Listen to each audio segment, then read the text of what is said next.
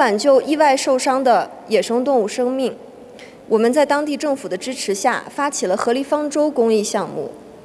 今年冬天，阿尔泰山在中国境内的第一个专业野生动物救助中心即将在新疆富蕴县投入使用。欢迎大家有机会去新疆跟我一起去看河狸。谢谢大家，我是河狸公主初文文。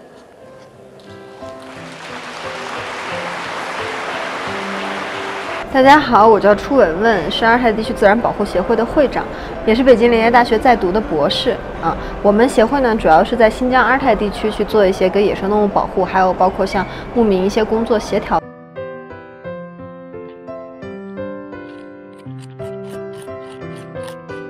选择从事野生动物这个行业，其实是因为我父亲是做了一辈子自然保护工作的，他是从山东专门为了河狸来到了新疆，然后在我很小的时候就开始带我去出野外，所以就一直耳濡目染，然后从小他们就愿意叫我河狸公主。在我七岁的时候呢，他就送了我第一台相机，然后想要让我去在想要拍下来这些野生动物或大自然的时候，能够有能力拍下来。然后我就觉得大家可能跟我一样，看到这些野生动物，然后就会去保护它们，但是我。再后来就一直没有办法去回答大家的一个问题，就是那么我们要怎么去做？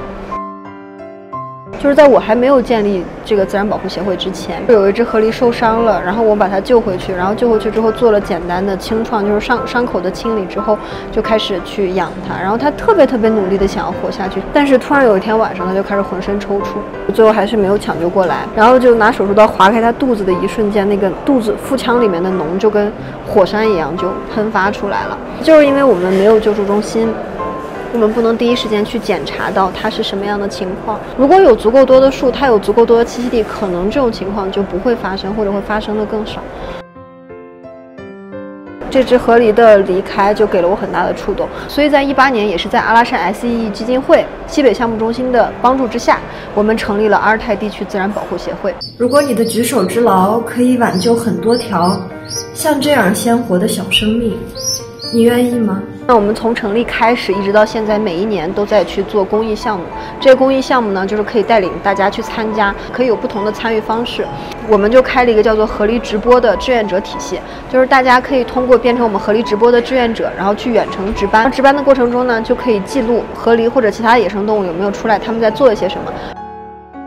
我们有一个庞大的志愿者队伍，他们每个人去认领了他们的时间，然后他们手动去追踪野生动物，只为能够给大家看到这些野生动物。而且追踪下来这些野生动物的数据呢，在日后就可以拿来量化一窝河狸到底能够给多少野生动物去营造栖息地。河狸食堂、河狸方舟这些有一定就是可以捐款的这样的一些项目，还可以通过去参加我们线下的志愿者活动，亲自过来给河狸种树，或者体验我们的方舟科考队，这些其实都是去参与自然保护的方式。我们协会的宗旨就是让参与自然保护的门槛变低。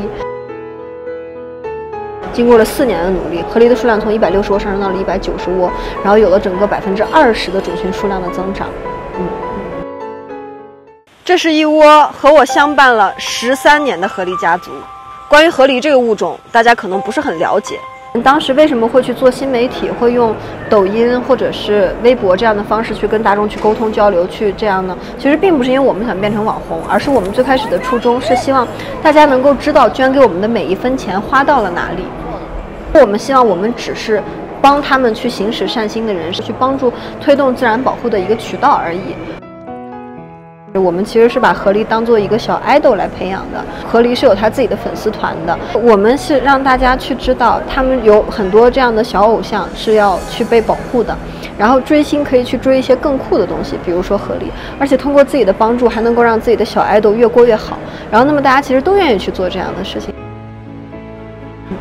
作为中国的青年代表，能够在联合国 COP 十五大会上面发言，其实说实话，我是真的很骄傲、很荣幸。但是，并不只是因为我代表了我自己，我是觉得我是代表了那上百万个，还有更多更多的关注着河狸宝宝，然后为河狸宝宝去奉献过去、付出过去、帮助过河狸宝宝的网友们，我为他们感到荣幸和自豪。而且，我也终于带着河狸宝宝站到了更大的平台上，让更多的人知道了河狸宝宝。我觉得这是我一直以来都非常非常想做的一件事野生动物保护这件事情对我来说，